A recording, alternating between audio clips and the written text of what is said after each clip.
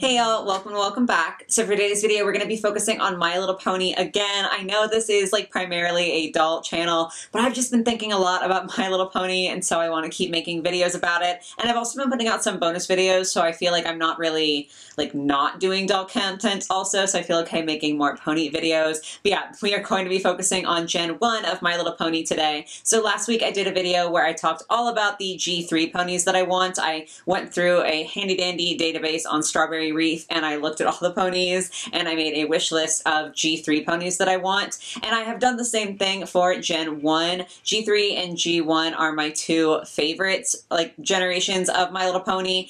I guess Technically, I could have started with this video so that it was in chronological order, but I like G3 more, so that's why I did that video first. But yeah, today we are going to be doing the same thing, only with the first generation of My Little Pony, and we're going to be talking about all of the ones that I have on my wish list that I would like to be able to buy and like have a collection of someday. There are definitely fewer ponies on the G1 list, because like I said, I like Gen 3 more, um, and also just like with the last video, this is probably not comprehensive. Like I'm sure through the course of me looking online and in person and everything at ponies, I will probably find more that I want, but these are the ones that I've come up with for now. So hopefully this will be a fun one for you guys. As always, if you do enjoy the video, if you could give it a like, that's very helpful to me. And then if you're new here and you enjoy your time, definitely subscribe so you can see more. Like I said, mostly a doll channel, but like we're sprinkling pony content in here. So if you like pony stuff, can't hurt to stick around. But yeah, let's go ahead and get started looking at the wish list. Okay, some of the images aren't the best quality, so I do apologize for that. But we are starting off with a super strong one. This is Sugarberry, and she is just so precious to me. She does have a couple of variations. This one I believe is called the twice as fancy one. So it's where her cutie mark is like extending past her hindquarters. I know it wasn't technically called a cutie mark in Gen 1, but like I'm just going to use that term because it's so much easier.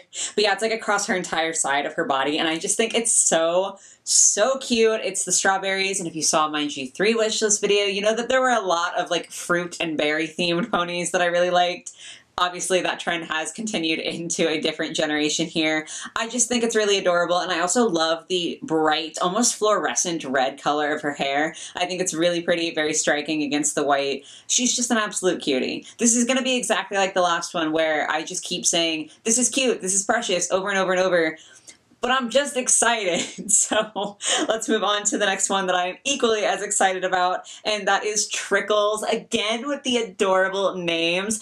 I love her. Yellow is a top tier color for me. My favorite color is orange, and yellow is probably my second favorite color, so the yellow body is super great. She's cut these adorable little watering cans for her cutie mark, and it looks like they are glittery, which immediately attracts me. And then the hair blend is also so beautiful. It's really interesting because it goes from a super pale pink and then into blue and then to a vibrant neon um I almost said orange, neon green and neon yellow, and it really works. I think it looks absolutely amazing. Just the colors are so pretty, and then having the glittery cute cutie mark doesn't hurt either. So I would love to have her at some point. Ooh, okay. this one's really cute. So this is a baby pony, and this is Baby Blossom. So I think she also had a few different variations. I think she had one that was more matte, but specifically I want this one, the pearlized version, because like if you're gonna give me an option between two of basically the exact same thing, and one of them is sparkly and one of them is not, I'm gonna pick the sparkly one every time, right?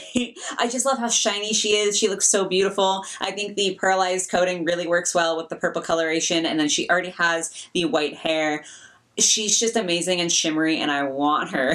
This is another very striking pony. This is Flower Bell and she's just so interesting to me. She has like the purple body. It's funny because the like cutie mark proper where it's actually on her hindquarters is a little bit hard to see with the color of her body and then the color of the mark because it's like these two interlocking hearts that are a very slightly different shade of like a pinkish purple, but she's got these blue markings all over her body and it's so cool. I love when the markings go a little extra, go a little bit beyond, and I just think they're so pretty. The blue color is absolutely gorgeous against that purple, and then her pink hair is like very soft, very cute. I just feel like if I was looking at a like crowd of ponies, she would stand out. She's so fun looking. Then we've got Sun Blossom. This is a really fun one. Y'all can already see the glitter, so you probably already know why I like her. she does have, again, that kind of extended cutie mark with all of these glittery stars, and then she also has tinsel in her hair just all the sparkles. Like, I, I can't say no to the sparkles. Plus, she's like a light peachy orange. It just seals the deal. She's beautiful. Okay, I had this one written down as her name being Rain Curl. I'm not 100% sure if that's correct, but she was part of the like curl ponies, so her hair instead of being straight is intentionally like quite curly out of, you know, when she was in box out of the box. And I think it looks amazing. I also do love the markings on her with the cloud and the kind of rainbow going through, but mostly it is the hair that I think is just so so beautiful. I feel like with the ponies you typically see straight hair, sometimes curled into like a little ringlet, but it's rare to see like proper curly hair and I think it looks really really good on this mold. Like she just looks so precious and fun and plus the hair blend the colors are so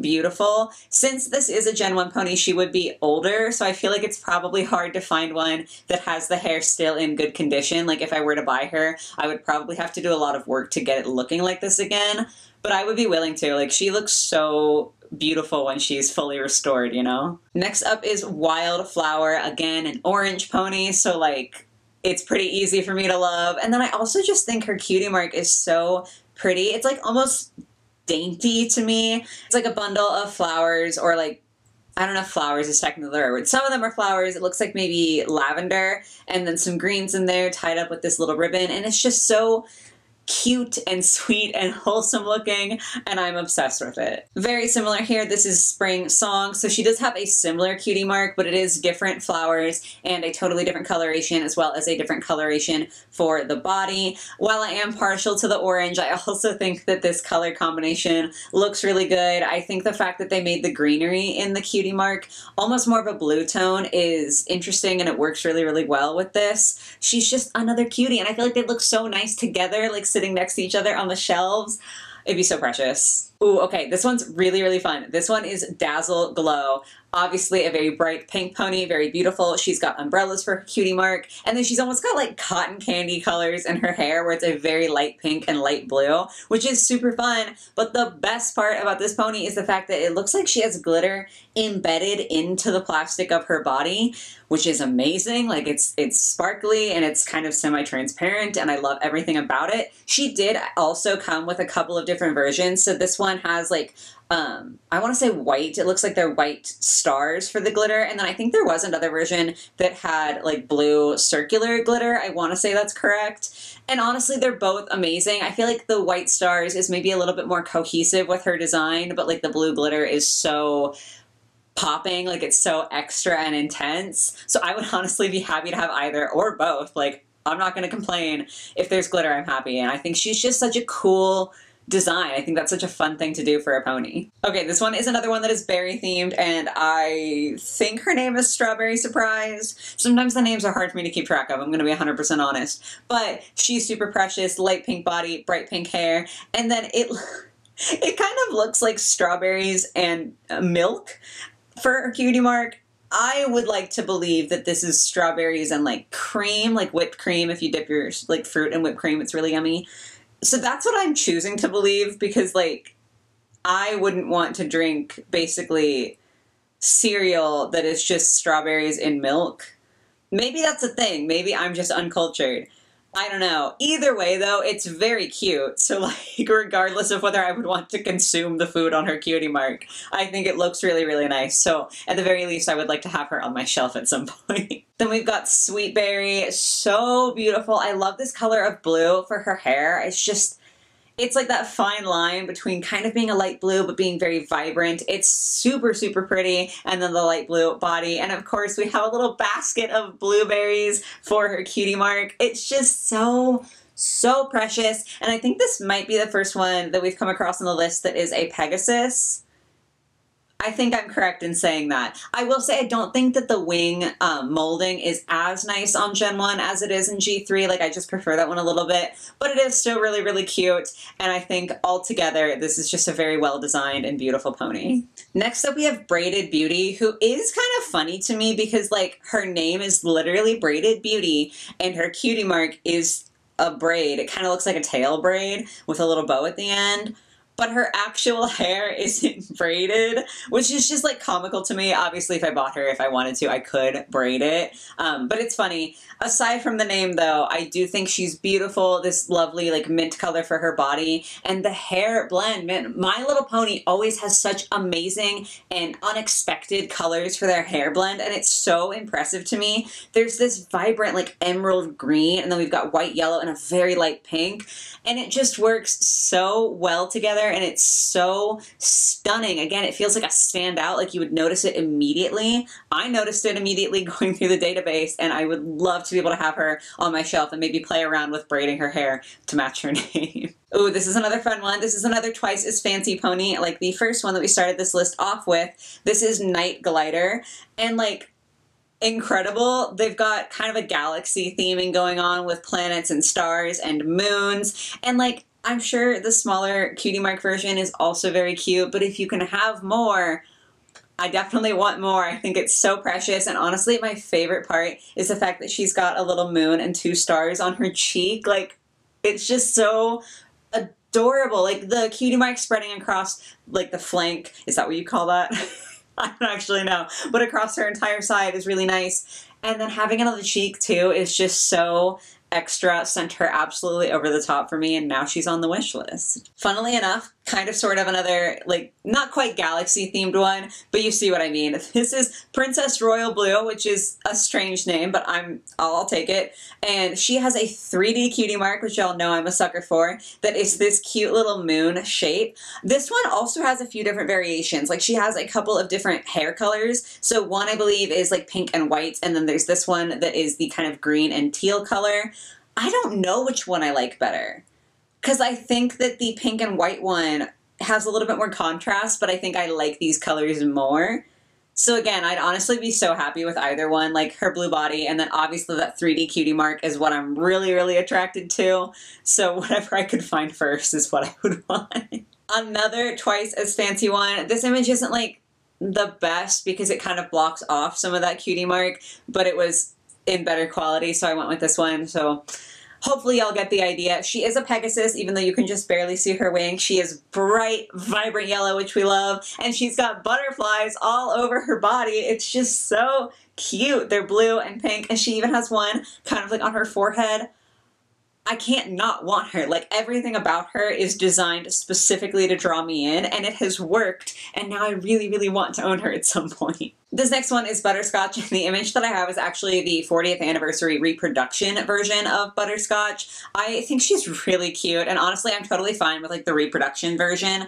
Obviously like it's probably not exactly the same. I'm sure there's some minor differences or like material differences. And for some people, collecting like the actual vintage ones brings them more joy, which is totally cool. If that's what you like, that's what you like. I'm not here to judge you for it. For me, I honestly don't care. Like, I just like the design, so I would be happy to have her. I actually saw her in Meijer recently, and I had to resist the temptation and not get her because she was not in the budget at the moment. But super, super cute obviously the orange, and she's got little butterflies for her cutie mark. She's just really precious. I feel like there's nothing else I can say. She's cute and I want her. Then we have Starshine. So this one's like a proper rainbow pony. I just realized I haven't really had any like that, which is unusual. I feel like the rainbows usually attract me, but she's got like the white Pegasus body and then the rainbow hair, rainbow tail, which is very cute, and then kind of like a little starburst cutie mark that I think also looks glittery. So y'all already know the sparkles and the colors. I'm here for it. Kind of similar. We went from not really having a proper rainbow pony to pretty much going two in a row. Only this one is a unicorn and has a planet and little dots for her cutie mark and is also more of a blue tone super precious. Like, again, all the same things that applied for the last one apply for this one, except she's a unicorn and she's got planets and I still love her. this one is interesting. So this is Little Flitter, and as you can see, she's kind of a different pony. She's got like butterfly wings, which you think would be like a big deal to me, right? You'd think that I would want all of them. Weirdly enough, with My Little Pony, I like the more ponyish ones the most, but I do still really like this one. I had to like have at least one of the butterfly ponies on my list because there are several of them. I just couldn't resist having at least one on the list because I think the wings are really, really cute, really pretty. And then, of course, she is yellow with this kind of lovely light, light pink hair she looks really cute, and I think that it is a really unique design, so at some point I would like to have her as well. This one is another one with the inlaid glitter, so you already know I'm super excited about it. Bright orange with pink hair and the little planets for her cutie mark. It's funny because in the G3 wish list, I feel like the fruits were a big theme, and then also flowers were a big theme, and for some reason with Gen 1, it's like space themed, so planets and stars and that sort of stuff. I'm not sure why. I didn't even really think about how many I had picked out until I saw this and I was like, another one with the planets? But it's cute. Like I just can't deny it really works with the G1 designs. And this one's a baby pony, so she's like a little smaller and a little even cuter than the regular one. So 10 out of 10. Another baby pony here, we have Sun Ribbon. I just think the hair colors are so cute for this one. She's got a kind of rainbow for the cutie mark. And then the baby ponies do just have such adorable little face molds, but mostly it is the hair color that has drawn me in. I just think these are really beautiful colors. Again, it's a fun mix of almost more pastel tones, but then that really neon yellowish green in there that just stands out so well. She's amazing. Almost at the end here, this one is the Gen 1 version of Applejack. I just feel like she looks so precious. Something about her just looks so sweet, and it's like you can talk to her. Like she's a safe space, and I love that. The little apples for the cutie mark is really cute. I like the contrast of the body color and the mane and tail color.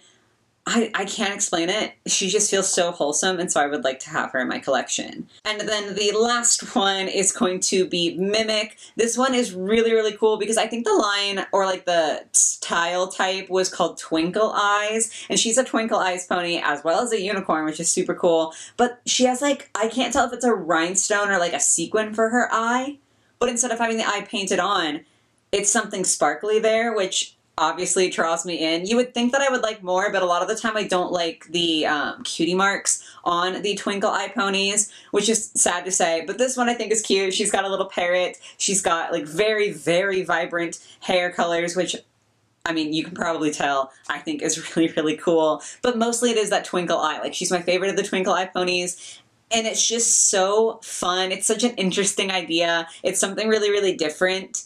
And so I feel like at some point I have to have her in the collection to kind of represent those twinkle eye ponies because it's just such a fun concept. So yes, guys, that is going to be it for my Gen 1 My Little Pony wish list. Like I said, much shorter than the G3 wish list. I think I'm a little pickier with the Gen 1 ponies, which is probably good because since they're older, they do tend to be harder to find in like good condition and more expensive and all of that jazz. So it's probably better for my wallet that I'm more obsessed with the G3 than the Gen 1. But obviously there were still a lot of really, really cute ones that at some point I would love to have a little collection of. Of course, I would love to hear your thoughts on the ponies that I mentioned in the comments down below. And then if you guys have any ponies in your Gen 1 wish list, or like if you have any G1 ponies that are your absolute favorites, feel free to drop the names in the comments down below. Like, you know, as much as I want to save my wallet and have like a smaller wish list. I'm also perfectly happy to hear about more amazing ponies from you guys and have to add to my wish list. And it would just be fun to be able to talk with y'all about this because it's something that I'm so